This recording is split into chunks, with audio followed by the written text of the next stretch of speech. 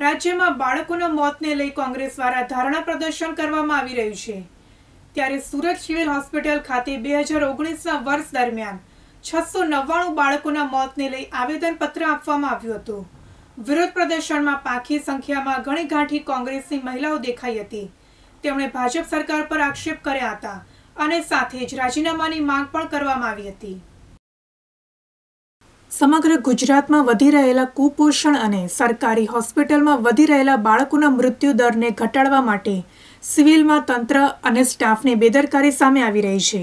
સમગ્ર ભારતમાં કુપોષણથી મૃત્યુ પામેલા બાળકનું મરણનો ટકાવારી આંકડો અડત્રીસ ટકા છે.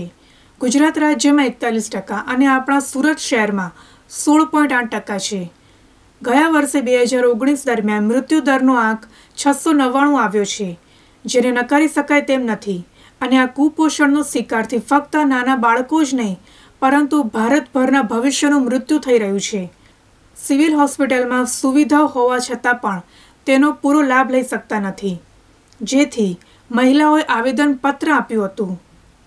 છાયા ઠાકુર સુરત શહેર મહિલા કોંગ્રેસ સાહેબેન આજે કઈ જગ્યાએ છો ને શું ધરના પ્રદર્શન આજે અમે સિવિલ હોસ્પિટલમાં કેમ્પસમાં છે ટ્રોમા સેન્ટરની સામે. છેલ્લા થોડા. દિવસમાં જે બાળ મૃત્યુનો જે દર વધ્યો છે એની સામે અમે ભાજપ સરકાર સામે વિરોધ પ્રદર્શિત કરી રહ્યા છે. અને અમને જવાબ જોઈશે કે એવી તો કઈ ખોટ તમારા હોસ્પિટલમાં છે અને એવી તો કઈ પ્રોબ્લેમ છે કે તમે સારા ડોક્ટરો અને સારી નર્સોની ભરતી નથી કરતા.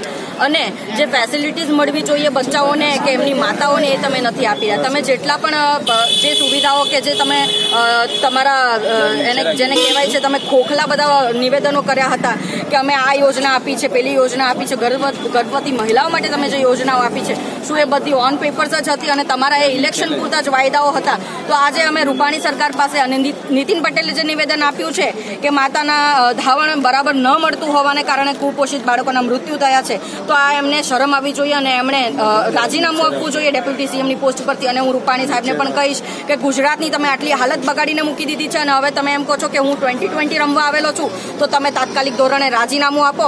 અને રાજ્યના જે આરોગ્ય મંત્રી છે સુરતથી જ બિલોંગ કરે છે. તો એમણે પણ જોવું જોઈએ. એટલીસ્ટ તમે કંઈ નહીં તો મહિનામાં એકવાર આટો મારો અને જુઓ કે તમારી અહીંયાની સરકારી હોસ્પિટલમાં શું ખોટ છે. અને આ જે હોસ્પિટલ છે, સિવિલ હોસ્પિટલ, એ અમારા યુવા ધારાસભ્ય હર્ષભાઈ સંઘવીના વિધાનસભામાં આવે છે.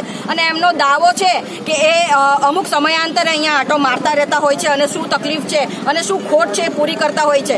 આજે હર્ષભાઈ કચરાના ડબ્બા માટે મીડિયામાં હતા તો હું કહીશ કે હર્ષભાઈ, એ કચરાના ડબ્બાના ઇસ્યુમાંથી તમે બહાર આવો. અને આ એક બહુ જ સંવેદનશીલ ઇસ્યુ છે આજે સુરતની અંદર કે બાળકો મૃત્યુ પામી રહ્યા છે, સિવિલની અંદર ફેસિલિટીઝ નથી. તો તમે એમાં થોડું ધ્યાન આપો. કચરાના ડબ્બાનો ઇસ્યુ તમે સાઈડ ઉપર મૂકીને તમે એને પછી કરી શકશો. પણ જે આ તાત્કાલિક ધોરણે તમારે પગલાં લેવાના છે તમે તાત્કાલિક ધોરણે લો.